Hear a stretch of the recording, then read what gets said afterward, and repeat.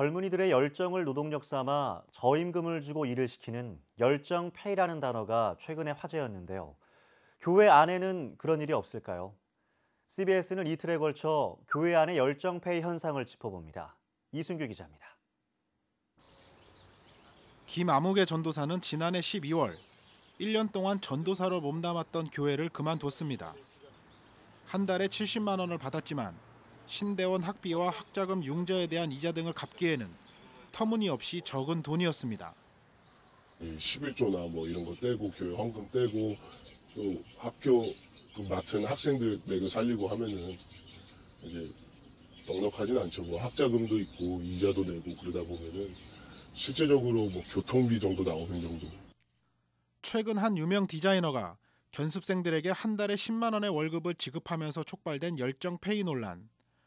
사실 교회 안에서의 열정 페이는 이미 오래전부터 있었던 현상입니다. 일부 중대형 교회를 제외하고 많은 전도사나 부목회자들이 상당히 적은 사례를 받고 일하는 경우가 비일비재합니다. 전도사나 부목회자들이 사례비 얘기를 어렵게 꺼내면 믿음이 없다거나 헌신이 부족하다는 등의 이야기로 그들의 입을 막기 일쑤입니다. 목회를 안정적으로 할 수 있지도 않으면서 먹고 사는 문제까지 해결이 안 되니 전도사나 목회자들의 삶은 더욱 팍팍해져만 갑니다. 이런 이유 때문에 확고한 소명의식이 있음에도 목회 현장을 떠나 아예 다른 직업을 찾는 사람들도 있습니다. 가장 궁극적인 원인은 인격적인 대우를 못 받는 거죠.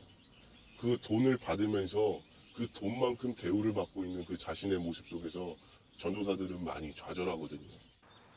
이미 오래전부터 교회 안에 만연해 있던 열정페이. 이제는 이들의 열정에 정당한 대우를 해줄 수 있는 방법을 모색해야 할 때입니다. CBS 뉴스 이승규입니다.